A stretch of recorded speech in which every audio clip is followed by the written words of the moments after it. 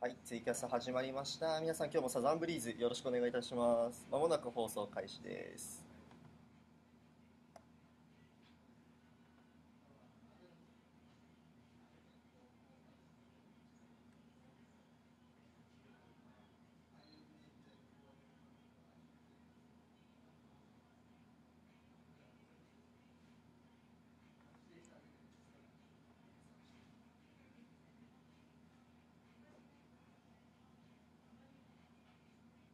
はい、FM 技能をお聞きの皆さん、こんにちは。えー時刻は午後5時を回りました。79.7MHz、FM 技能よりサザンブリーズをお届けしています。えー私、えー木曜日担当、キャンが本日お届けしてまいりますよ。はい、ではこの後午後6時までお付き合いください。そしてですね、えっと、本日のトークテーマですが、えートークテーマの方がですね、えー趣味ということでお届けしたいと思っております。はい。えー私、多趣味のですね、キャンが、えー趣味の楽しい世界をお話しするとともにですね、はい。皆さんの、えーご趣味をぜひ、あのーまあ、このツイキャスとかですね、メールの方でコメントを送っていただければと思っております。よろしくお願いいたします。はい。ではですね、えー本日、えトークテーマは趣味でございます。今日もたくさんのメール、メッセージお待ちしておりますよ。えメールアドレスの方はですね、797アットマーク FM ギノワンドットコム、797アットマーク FM ギノワンドットコムまでお願いいたします。で、FM ギノワンでは電波の他にもですね、ツイキャス、ユーストリーム、そしてサイマル放送でもお楽しみいただけます。えーホームページの方からですね FM ギノワンの、えーリスンラジオを再生というあのボタンをクリックしていただけると、えーパソコンの方でお楽しみいただけますまたスマホの方ではですねリスラジの無料アプリをダウンロードしていただいてえこちらもですねあの本放送の方がお楽しみいただけますのでぜひそちらもご利用されてください。なおあのツイキャスの方はですねコメントを送られますので皆さんぜひですねツイキャスの方もチェックして、えー、とコメント等を送っていただけたら、えー大変あの助かりますのでよろしくお願いいたします。はい。ということで皆さんの趣味ぜひお送りしていただきたいと思います、えー今ですねあのサテライトスタジオの、えトロピカルビーチ、え売店の方からお届けしておるんですが、えー周りですねやはり泳いでる方もいるようですね。えーっと今僕の方から見える限りでは、えー水着の女性はまだ見えないんですがね。はい。そのうちあのまたこちらの方にでもあ顔を出していただければと思っております。ぜひよろしくお願いいたします。ということで本日の1曲目早速ま参りたいなと思うんですがちょっとね今日はノリのいい曲をだいぶ用意してきたのでそれをですね、えーご紹介したいと思います。はいではまず1曲目参りましょう。1曲目ですね。えーティモマティックで Everything's Ours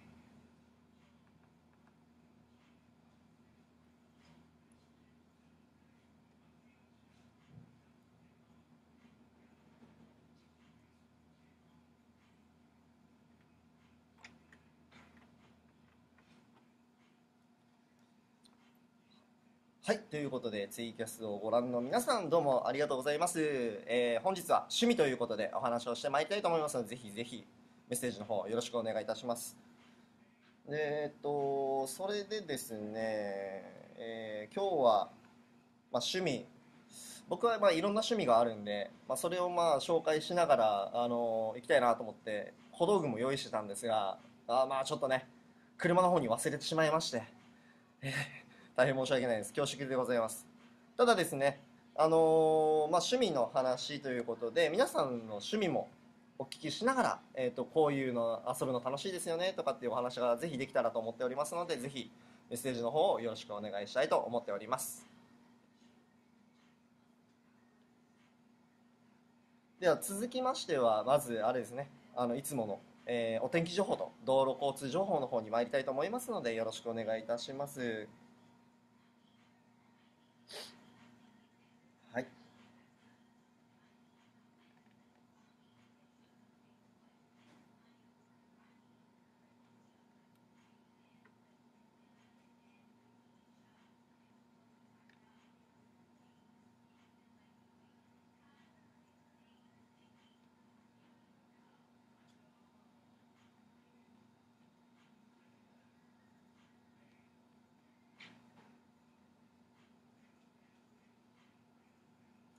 えー、浦添ののりさん、えー、キャンちゃん水着の子ってまだいてる？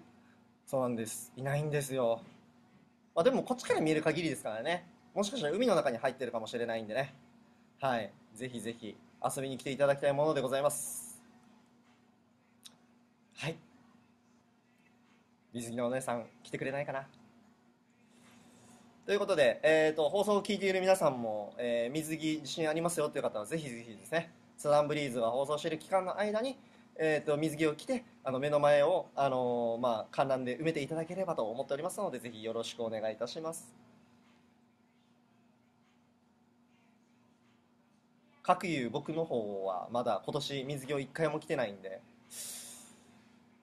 そろそろね、あのー本当にこの夏やり残したことになりかねないんでだから人泳ぎでもしたいんですけどね。もうすでに寒くなってるんですかね、まあ、季節は9月の中旬ということで、まあ、沖縄はまだね海にも入れる季節ではありますがまあまあまあまああのー、まあ、ビーチパーティーの方がねまだまだ楽しい季節ではないですかね。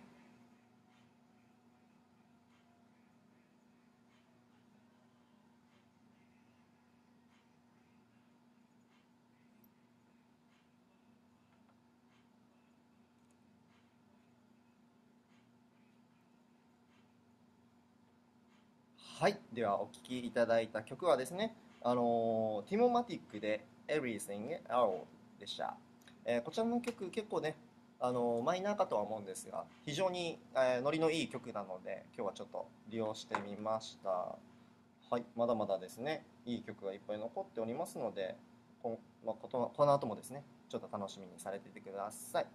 え、シュプリームさんからここで。キャン君こんにちは。今日は車を運転しながらでの主張に、主張であまりコメントできませんが、ゆたしくです。えちなみに趣味はスノボ、あ、スノボで、えー、今年1月から4月の間に5回北海道で滑りに行きましたということで、えシュプリームさん羨ましいですね。えー、僕もスケーターなんでね、あの、スノーボードすごい憧れるんですけどね。はい。非常に、あのー、まこの話はまた後にして、えー、まずはお天気情報と、えー、道路交通情報をお伝えしたいと思っております。シュプリムさんありがとうございます。ということで、えー、まずはですね、お天気情報の方から参りましょうか。え本日、え21日の、え天気なんですが、え晴れのち曇り、え南東の風後に、え南の風、晴れ、夜曇り、え波1メートルということになっております。で12時から18時までの、えー降水確率10%でしたが18時以降夜の方はですね20%に多少上がります。そして本日の日中の最高気温は32度とやはりこの9月となってもですねまあまあ高いですね。はい。で明日ですね22日、えー、こちらも晴れのち曇りということで南の風晴れ時々曇り。で波の高さは1メートル、まあ、台風が過ぎ去って割と、えー、落ち着いてますね、えー、台風来てた時はすごい荒れてましたからね。はい。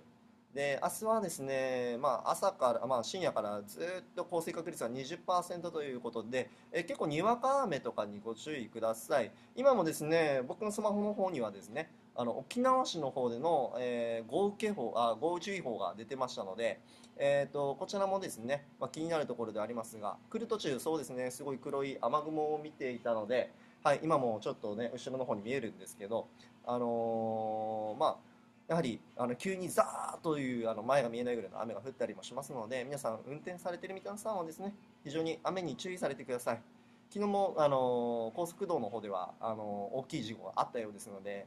そうですよ。こういう雨が降るときこそ、まあ、慎重にですねゆっくり運転していただきたいと思います。はい。ということで、えーとまあ、気象庁の発表の方をちょっとチェックしてみましょうかね。えーと本日21日の気象庁の発表ですね。沖縄本島地方は高気圧に覆われておおむね晴れていますが八重山地方ではにわか雨のところがあります。ということでただしあの湿った空気の影響でですねあの曇りでところにより、えー、にわか雨とかが降るようですので、まあ、雷雨を伴うということですから、えー、非常に風も強くなったりとかねそういう時には気をつけていただきたいと思います。はい。では道路交通情報の方に参りたいと思いますね。はい。ではまず高速道の方から、えー、本日の道路交通情報ですが、えー、これは規制ですかね。はい。えー、許田から金にかけてもあ宜野座の間に、えー、上り下り一車線走行規制が入っております。えー、近町の、えー、IC 近あ IC 近町インターチェンジ付近、えー、下りの方で工事による一車線規制が入っております。で石川と、えー、沖縄北えインターチェンジの間、え下り線ですね。こちらも工事による規制が入っております。で1箇所ですね、故障車があります。えこちらは北中城村インターチェンジから西原付近にかけての上り線です。故障車がありますので、えー、皆さん注意されて運転されてください。そして、ハエバル北から、えーと、と富城までのえー、上り下り両方ですね。こちらもですね、えー、高架橋補修作業ということで、一車線規制となっておりますので、皆さんゆっくり運転されてください。今のところ特に混み合っている状況はありませんが、故障車もありますので、えー、追突事故等気をつけてください。昨日もですね、えー、この事故によって混み合った時にまた故障車も途中出てましたのでね、はい、また追突とかの危険性がありますので皆さん注意して運転されてください。では一般道の方に参りたいと思います。本日一般道の方宜野湾市周辺、えー、そうですね。グスクマから、えー、牧港にかけて渋滞が見られます。こちら58号線ですね。でいつも通りやはり大蛇名の方の、えー、前原向かいに、えー、またこちらもすごい混み合ってますね。渋滞の方ができております。はい、えー、330ガネッコ交差点付近も、えー、渋滞しておりますね。であと石平からスケランに向かう330こちらの方はですね高架高架橋補修作業ということで一車線規制と、えここ最近ずっと続いておりますので皆さん通られる皆さんは気をつけてください。はい。えーとまたですね、えー、茶炭のですね、えー、これは茶炭交差点ですね。スケラン向かいの茶炭交差点、えー、こちらの方もですね、えー、58号線。あの渋滞の方が見受けられますので皆さん注意して運転されてください。はい、では以上、えー、道路交通情報とお天気情報でしたということで、はい、えー、じゃあツイキャスの方に戻りたいと思います。先ほどのコメントにちょっと戻りますね。えっ、ー、と、シュプリームさん、えー、キャン君、こんにちは。えー、今日は車を運転しながらでの使用であり、あまりコメントできませんですが、ゆっかしくです。ちなみに趣味はスノボーで、えー、今年1月から4月の間に、えー、5回北海道に滑りに行きましたということでシュプリームさんの趣味はスノボだそうですはい、えー、僕はですね修学旅行が九州に行った時にスキーの経験はできたんですけどただあのスノーボードがですねその時はできなくてすごい残念だなって思ったんですが僕はもともと小学校からあの中学生にかけてスキあスケートボードをやってたので非常にスノーボードってやってみたいですね。で今のスキー場っていうのはこのスケートボードによってあ、まあ、よるような形でハーフパイプがあったりあと手すりですね。ハンドレールがあったりとかそういうのを、まあ、スノボでカーッとグライグラインドって言いますね。こう滑っていく上をかけて滑っていくっていう技をするところもあるようですよ。えーと、海外とかにもすごいありますし日本にも結構そういう施設ってできているんですかね、はい、割とあのやはり、まあ、も元は一緒みたいなものですからあのスノーボードをする時に限ってもこういう鉄パイプとかを使ってパフォーマンスできるっていうことで、まあ、非常に興味深いなと思っております。ぜひですね僕も本土行く機会があったらあのこのスノーボード体験してみたいと思っておりますしあのまあ、ぜひぜひですね沖縄でもねなんかできる方法ないのかなと、はい、思っております。ちなみにですねスキーは沖縄でもできる方法がございます、えーと、スキーっていうか、まあ、スキートレーニングですねあのー、スキーのオフトレによく使われるような、えー、ローラーブレードを利用すると割とですねあのノルディックとかのスティックを使ってスキートレーニングとかをやったりとかできるので今僕もですねそのブーツをちょっと今週買ったので、まああのどんどんトレーニングに取り入れてですねいろいろやっていきたいなと思ってるところでございます。ということで、えー、一旦ですね、まあ、今14分を回ったところなので CM の方に回ってそれから後半ですねまた趣味のお話を続けてまいりたいと思いますので皆さんメッセージの方どしどしとよろしくお願いいたします。では一度 CM を準備しましょうね。はい。そうですね趣味って言いますとですね、僕がやっていることほとんど趣味が今こうやって花開いて仕事っぽくなってきておりますので非常にですねすごい毎日が楽しくてしょうがないんですね。はい。ということでまず一旦 CM です。では CM をどうぞ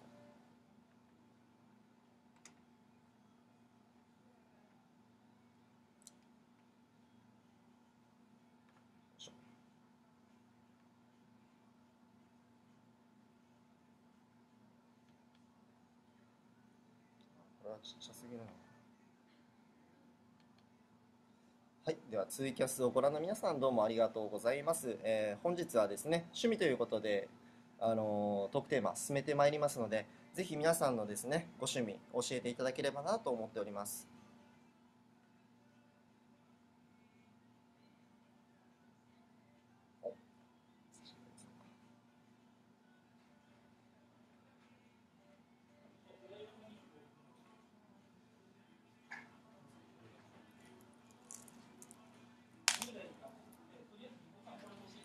えー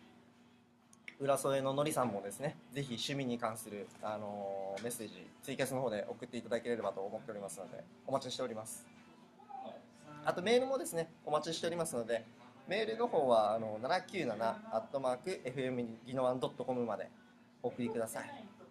ぜひぜひ。で、また来週はですね、ちょっと企画をしますので、そのこともまた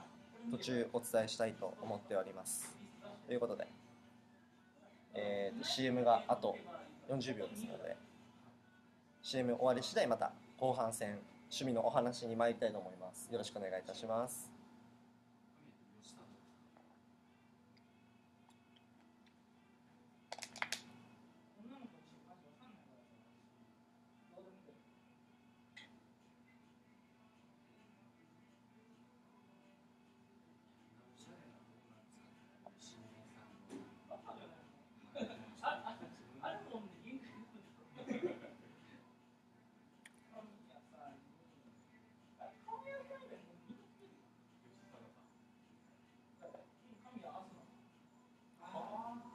はい、えー時刻は17時17分を回りました、えーサザンブリーズ、えー木曜日担当キャンがお届けしております。本日ですね、えー、とトークテーマ趣味ということで皆さんのメッセージをお待ちしておりますが、えーとまあ、先ほどご紹介したシュプリームさんの、えー、とスノボ以降ですねまだ新しいコメントが来ておりませんので皆さんぜひぜひですね。あミースケさんこんにちは。えー私も以前スノボやスキューバダイビングとかをやっていたのですが子供が生まれてから、えーすっかりご無沙汰していますということでありがとうございます。えっ、とみすけさんは初めてですかね？あの僕の番組にコメントいただけるのは。どうもありがとうございます。はいということでえっ、とスキューバダイビングですか？いいですね。スノーボードもですね非常にやはり日本土の方はは割とポピュラーな趣味としてされているんでしょうか？えー、とスキューバダイビングはあのー割とですね沖縄の人はやっているのかなってイメージあるかもしれませんが意外とですね沖縄でダイビングを趣味にされてる方ってなかなかいません。むしろ沖縄の人は海に入るっていう印象があんまりないんですかね。ビーチにもあんまり行かなかったりとか。あのーまあ夏せっかく夏がね終わろうとしてるのに僕みたいにですね今年一回も水着を着ていないとか、まあ、そういう人も中には多いのでやはり海を眺めるのはすごくうちなんちゅう好きなんですけどなかなかね海の中に入ってあのーこのなんか海の中に入って遊ぶとかってイメージはないですよね。まあでも でもあのーそうですねスキューバーダイビングってすごくあのー非常にですねやってみたいなっては思うんですけどやっぱり海ってですねあの寒いじゃないですか入ると。だからそういうのってどうなのかな。み皆さんでもあのダイビングスーツ着ると大丈夫ですよって言われるんですけど僕ですねあの体細い分あの人よりも冷えるのが早くてですねもう昔からプールの授業とかもサボりまくって先生すいません今日微熱があるんで休ませてくださいっていうすごい貧弱な子供でしたね。はい。ということで、えー MTMR さんから、えーツイキャス開いてびっくり。顔チカッ笑っそうなんです。今日はちょっとね一人なんで顔ドアップで放送しております。ありがとうございます。えっとですね、あのー割と今日日差しが弱いからちょっとサングラスかけてないんですけど普段はですねちょっとこういったサングラスをかけてサザンブリーズやっておりますのではい。またまたぜひぜひお遊びいただければと。で本日のですねあのトークテーマ趣味ですので、まあ、MTMR さんもぜひぜひ趣味に関するコメントいただきたいと思っております。よろしくお願いいたします。ということでえっ、とまあ、皆さんのコメントの方でですねいろいろいただけて非常に嬉しいんですが、え僕の方の趣味なんですけど、えー自分すごく多趣味でして子供の頃からコロコロコロコロ趣味が変わるんですよ。なので、まあ、でも変わるって言ってもやめた趣味は一つもないですね。あの全部残して自分の技術にしてあの持っていってで暇な時になんかいろいろ変えて遊ぶみたいなことをしています。なのであの室内でしかできないような趣味外でしかできないような趣味両方組み合わせて遊ぶとかそういうのが得意ですね。はい。ということで、えーその趣味の方ですね。僕最近一番特にやっているものがあの一応メインの趣味がローラーブレードなんですよ。あの、まあ、ローラーブレードって言い方すると、まあ、ローラーブレードはあのあれですよね。メーカー名なんで。種目名としてはインラインスケートと言います。えー、とローラースケート。足に入って履くローラースケートの縦にローラーが並んでいるタイプですね。こちらの方はインラインスケートと言いましてあのローラーブレードっていうこのねローラースケートの会社が開発初めて開発したということでローラーブレードっていう名前で非常に有名です。このローラーブレードっていうのは実はブランド名でしてね。はい。あのインラインスケート界の老舗でなんですがあの実はあのこの種目の名前ではなくメーカー名でございます。はい。でこのあのインラインスケートを始めたきっかけっていうのが、まあ、小学生の頃は普通につけて遊んだりとかしてたんですけど、まあ、別に極端なんか変な技をするとかってそういう遊び方ではなくただつけて、あの道を遊走ダッシュして遊ぶとかぐらい。でだからバックもできないしみたいなことだったんですが社会人になって、まあ、陸上、まあ、僕はあの学生時代陸上競技をしてたんでその、まあ、オフの時にですねまたまたま遊びに行ったあのーランドワンとかでランドワンはスケートリンクが中にありますよね。そこでレンタルして遊んでいる時にもうすごい上手い人とかがこうくるって回ってバックで滑ったりとかしてるのを見てわーすげえかっこいいなあんなのやってみたいなっていうのとあとテレビであのアイススケートをですねあのフィギュアスケートを見た時に僕たち世代でいうと高橋大輔さんとか、あのーがもう本当にかっこよくてなんかあんな風に滑れたらすごい楽しいだろうなってことでちょっと興味はありましたので、あのー陸上のオフトレのつもりでもともとは始めました。なのでなんか普通にですね安い7000円ぐらいの、あのーちょっと外が可愛いソフトブーツっていうんですけどね。外が柔らかいこのソフトブーツでのあのインラインを買うとまあ1週間ぐらいでなかなか滑りが悪くなってはい。そしてですね、あのまあ、ウィールっていうんですけど、タイヤの部分ですね、これがすごい1週間で削れちゃったんですね、あまりにも乗りすぎて。で、あの半年もしないうちにブーツが曲がって、もう全然履けないぐらいまで変形しちゃうぐらい、あの乗り込んでしまったんで、それをですね、もう今度じゃあ、頑丈なのを買おうということで、インターネットを探してたら、アグレッシブブーツっていうのがあるんですよ、このインラインに。どういうものかっていうともう本当に周り全部プラスチックで固められてるみたいなね。すっごい硬いごついなん、あのーブーツなんですけど。なんでじゃあここれがこんなにごっついのかっていうと、あのー縦にこうやって4つ並んでる間の部分をこのくり抜いてこうちょっとアーチ状になってですね。そこをあの鉄パイプとかあの手すりが滑るように、あのー専用で作られているブーツなんです。なのでジャンプしても平気、えーそれをなんかなんか手すりとかにこすりつけても平気。そういうブーツを購入したのがきっかけであの最初はもう全然普通にただ地面でくるくる回ったり走ったりとかするのだけで十分あの楽しみで楽しめてたんですがだんだん物足りなくなってですね、まあ、23で始めたんですけどあの23からデビューして半年でハーフパイプを滑りました。はいでちなみに沖縄ではですねインラインをやってる人がいなくて